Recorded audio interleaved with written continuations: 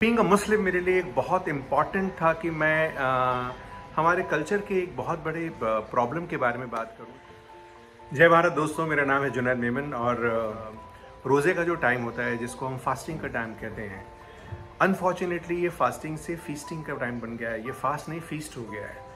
और इसकी वजह से जितना नुकसान पूरी इकोलॉजी को हो रहा है या जितना हम खाना बर्बाद कर रहे हैं मैं चाहता था कि ये इन्फॉर्मेशन मैं सिर्फ़ अपने स्पेसिफिक कम्युनिटी से बात ना करूँ, मैं पूरे भारत के लिए बिकॉज़ हम मिलकर के सारे त्यौहार मनाते हैं, चाहे होली, ईद, दिवाली, हम दशहरा, हमने हर त्यौहार साथ में मिलकर मनाया है।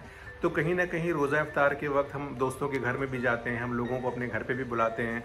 एक दूसरों के घरों में हम कई बार पकवान भी बना बना करके भेजते हैं। हमने बहुत सारी इस तरीके की चीज़ें देखी हैं। पर कल्चरली बहुत से डिटेल काफ़ी लोगों को शायद ना भी पता हो। बेसिकली रोज़ा रोज़े का, रमज़ान का जो महीना था, जो जिस जिस वजह से, जिस तरीके से वो डिज़ाइन हुआ था, वो हमेशा से आपकी नब्स पे कंट्रोल करने के लिए था। नब्स पर कंट्रोल पे सबसे बड़ी दो चीज़ें जो हैं, जिसके बिना आप रह ही नहीं सकते। आपके पास कपड़े ना हो, आप ज़िंदा रह सकते हैं। आपके पास मकान ना हो, आप ज़िंदा रह सकते हैं। पर खाना और पानी, हवा के अलावा दूसरी दूसरी चीज़ जो है, उसके बिना आप नहीं ज़िंदा रह सकते।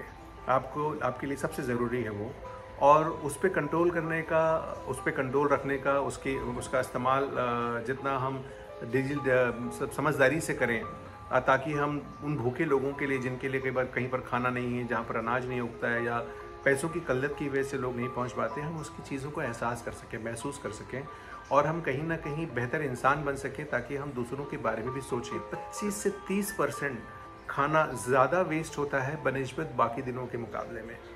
ये शर्म की बात है पूरे के पूरे समाज के लिए, और मैं बींग अ मुस्लिम मैं बहुत ज़्यादा ज़िम्मेदारी के साथ अपने सारे लोगों के साथ ये आह्वान कर रहा हूँ कि आप लोग क्या कर रहे हैं मेरे भाई। इस वजह से रमज़ान की शुरुआत हुई थी या रोज़ों की शुरुआत हुई थी, उस बेसिक को पढ़ें।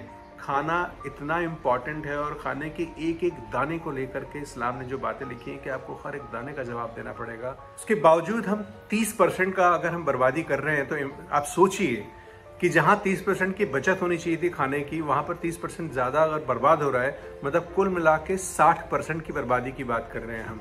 कि 60 परसेंट खाना बर्बाद करने के बाद आपको नींद कैसे आती है? आप आराम कैसे कर पाते हैं? इसमें चाहता हूँ कि लोग, लोगों को इसका एहसास हो। अगर आपको एहसास इस बात का है, अगर होता है तो बहुत अच्छी बात है। ये वीडियो आप ज़्यादा से ज़्यादा लोगों से शेयर करें ताकि ये इन्फॉर्मेशन पॉजिटिव सेंस में लोगों तक पहुँचे। हम भारतीय लोग हैं, भारतीयता हमारे अंदर कूट कूट की भरी है और उस भारतीयता के अंदर अनाज, क्योंकि अन्नपूर्णा देवी की भी हम पूजा करते हैं, अनाज को समझाना, अनाज की इज़्ज़त करना हम सब की ज़िम्मेदारी है और उस पर हम सब मिलकर काम करें और चाहे किसी भी धर्म, त्यौहार, तीज, दिखावे, फेस्टिवल, किसी भी नाम पर हम कोई भी बर्बादी ना करें।